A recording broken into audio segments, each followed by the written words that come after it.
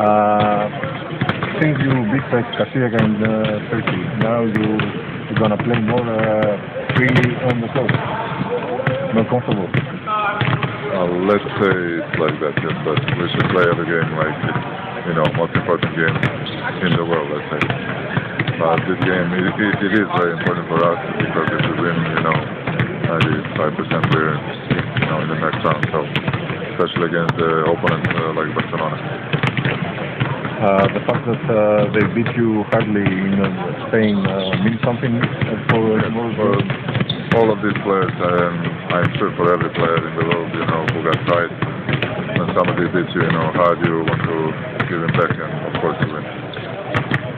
So, uh, this is like a top 16 caliber game. Uh, do you feel like if you win one of those, those you have to win against Atletico and one uh, then against some teams that big win in order to go to the top 16 to have that type of Definitely we need something like this, you know, just to say, definitely it's good for to play against uh, the teams like Barcelona and, you know, we're gonna see, but uh, I think it's gonna mean a lot of uh, for us for the next round if we win.